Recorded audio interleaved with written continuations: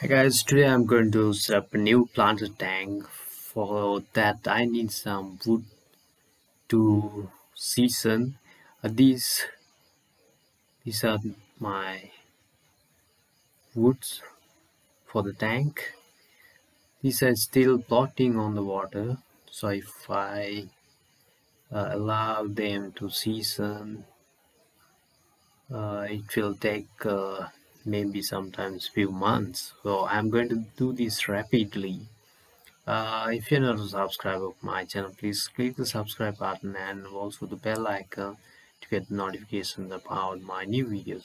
So i have filled the water to pot and i'm going to boil it.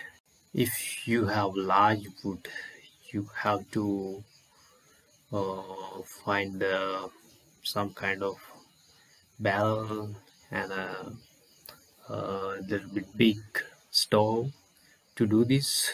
But these are very small so I'm going to use this setup. When it boils it will release some kind of brown color uh, juice to the water. If you don't do this uh, it will happen in your tank then the water will discolor. Uh, it will be a very slow process then uh, it will take a few months to have a clear uh, tank. So to do rapidly you can boil it like this uh, these are small wood so maybe around one to two hours time is enough to sink the wood, wood in the water. Now you can see it's not uh, floating so until the wood sink in the water you can boil it. If your wood you have large wood uh, then the boiling time maybe increase maybe sometimes three four hours also. You can see the color of the water uh, when we start this uh, the water was very clear. Now it is it has changed to brown color.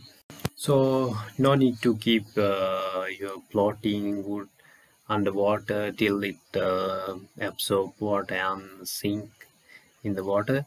Uh, you can use this method. You can boil it to rapidly uh, season your wood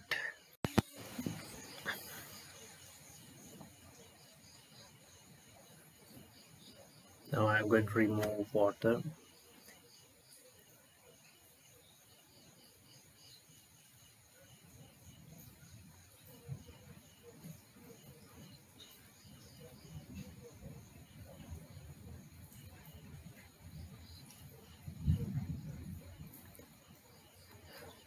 Now these are well conditioned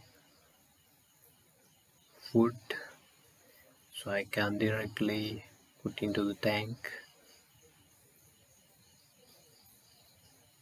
No need to worry about algae or any other bacteria or water discoloration. I can put them directly into the tank. These are for my new planted tank.